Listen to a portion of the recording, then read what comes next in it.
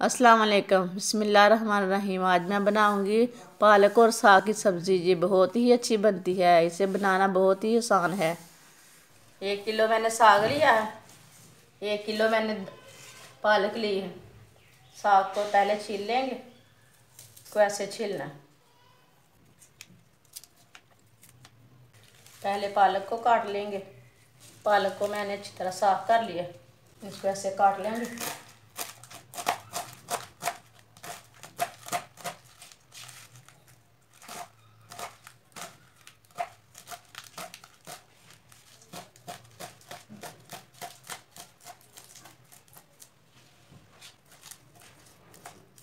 हम साग को काट लेंगे।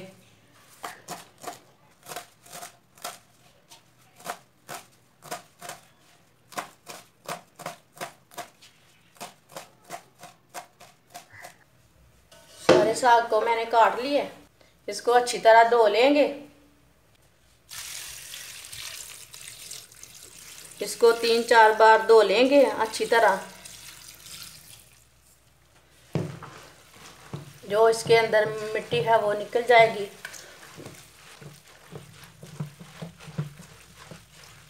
साग को टोकरी के अंदर डाल लेंगे इसी तरह।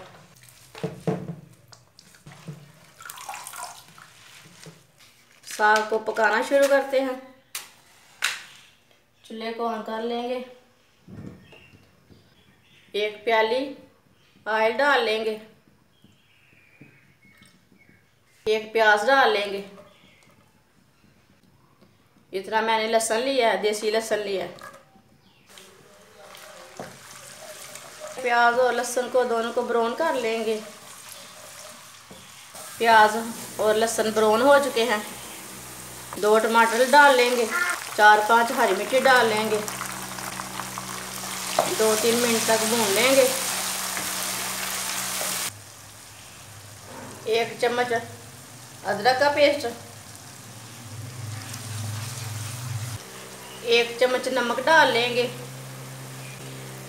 एक चम्मच पीसी हुई लाल मिर्च, आधा चम्मच हल्दी, एक चम्मच कुटी हुई दादड़ वाली मिर्चें।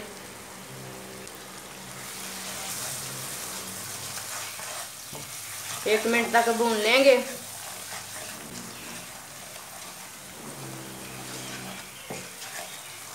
थोड़ा सा पानी डाल लेंगे।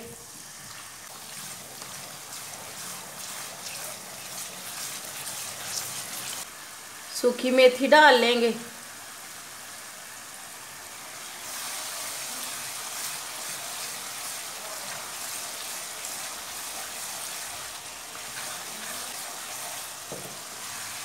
मसाला हमारा तैयार हो चुका है। इसमें थोड़ा थोड़ा करके साग और पालक डाल लेंगे।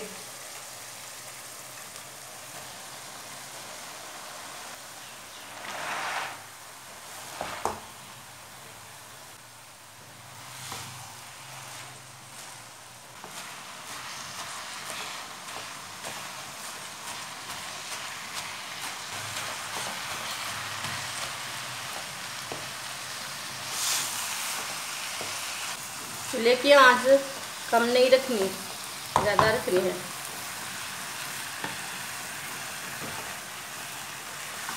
ये हमारा तरीका है साग बनाने का। इसको बहुत से तरीक़ों से बनाया जा सकता है। बाद में आपको दूसरा तरीका भी बताऊँगी, साग बनाने का।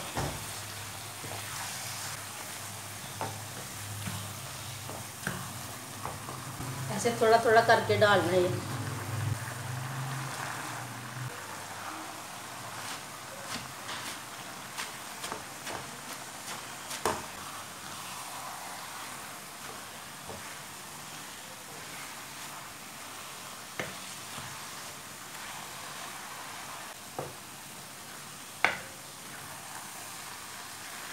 इसको दो तीन मिनट तक भून के बाद में ढक्कन लगा लेंगे। ये देखिए माशाल्लाह, साग और पालक ने पानी छोड़ना शुरू कर दिया।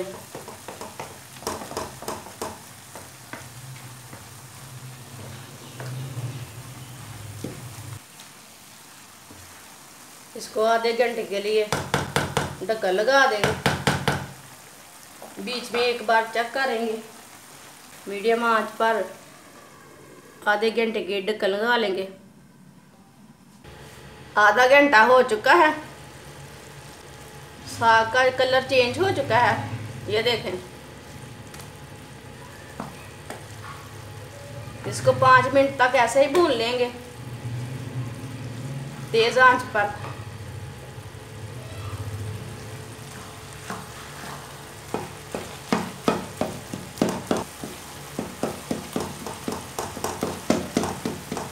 नमक और मिर्च अपनी मर्ज़ी से डालना।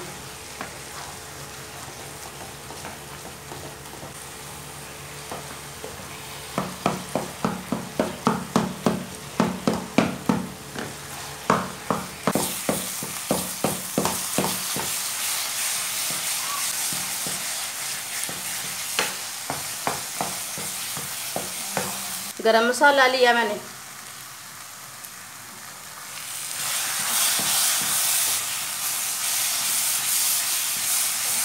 ऐसे ही से भूनना है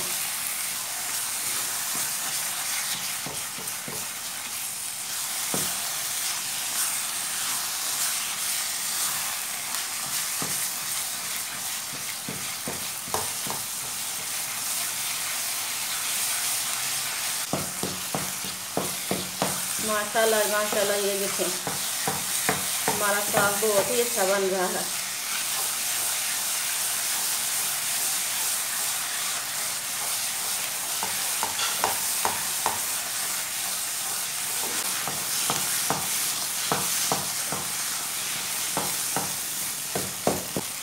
इसे अच्छी तरह भूनना है।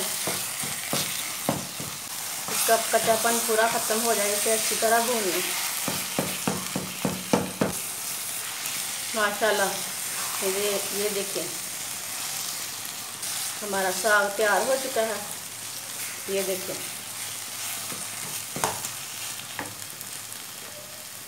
चूल्हे को बंद कर देते हैं।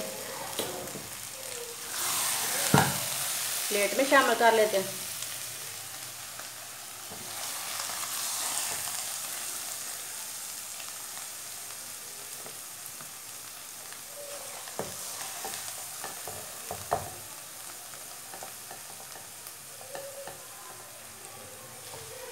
हमारा साग बन के तैयार हो चुका है।